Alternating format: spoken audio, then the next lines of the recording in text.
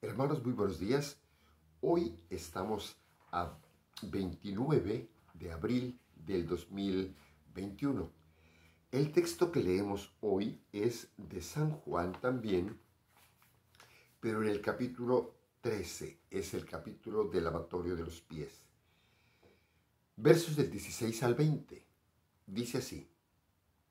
En aquel tiempo, después de lavarles los pies a los discípulos, Jesús les dijo, yo les aseguro, el sirviente no es más importante que su amo, ni el enviado es mayor que quien lo envía.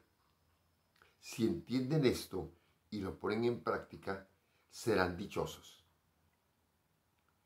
No lo digo por todos ustedes, porque yo sé a quienes he escogido, pero esto es para que se cumpla el pasaje de la Escritura que dice, el que comparte mi pan me ha traicionado.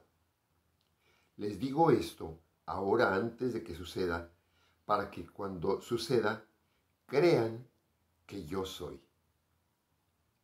Yo les aseguro, el que recibe al que yo envío, me recibe a mí, y el que me recibe a mí, recibe al que me ha enviado. Palabra del Señor.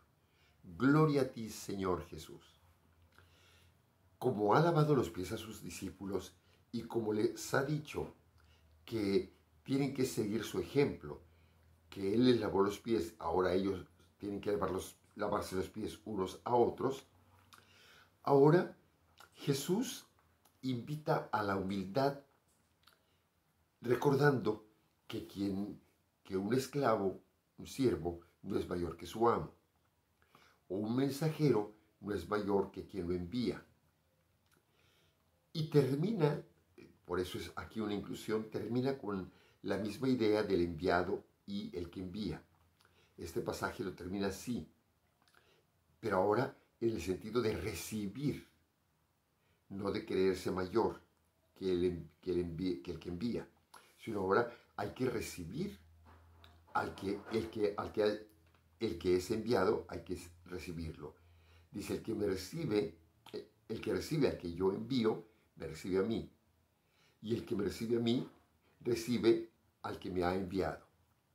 Es esta cadenita de los enviados que acostumbramos a hacer en la iglesia, ¿verdad?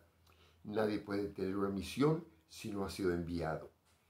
Los sacerdotes no podemos llegar a una parroquia y decir a su lado yo, porque es el obispo el que decide quién va a organizar una parroquia, por ejemplo o un servicio. Somos enviados. Bien. Pero, entonces hay que estar en esa actitud de recibir. Primero habla de estar en una actitud de humildad. El que envía, el que es enviado no es mayor que el que envía. Invita a la humildad.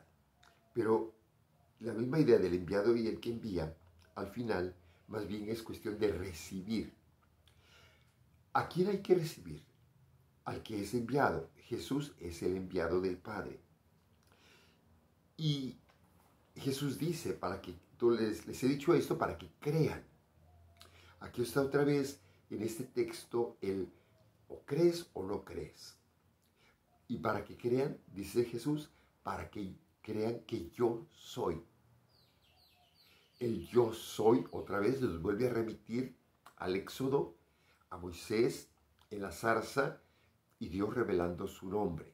Yo soy, te envía. Yo soy. Pero también hay otra opción. Estaba ya desde el Salmo 41.10 de que Jesús iba a ser traicionado. Está la opción de traicionar a Jesús. Entonces, somos libres, podemos traicionar a Jesús o podemos creer y aceptarlo. Ya sabemos todas las consecuencias de rechazar o de aceptarlo. Y hoy nos invita el Señor a aceptarlo, aceptar al que Él envía, porque si aceptamos al que Él envía, estamos aceptándolo a Él, Jesús, que también es enviado del Padre. Mis hermanos, ojalá que optemos por creer en Jesús, el yo soy. Que pasen un feliz día, que Dios los bendiga y siempre. En nombre del Padre, del Hijo y del Espíritu Santo. Amén. A seguirlos cuidando, cubrebocas, vacuna, distancia, lavado de manos, etcétera, etcétera. La vacuna es otro elemento para que no nos contagiemos. No es el único y por eso ya todo va para afuera. No, por favor. Hermanos, bendiciones para todos.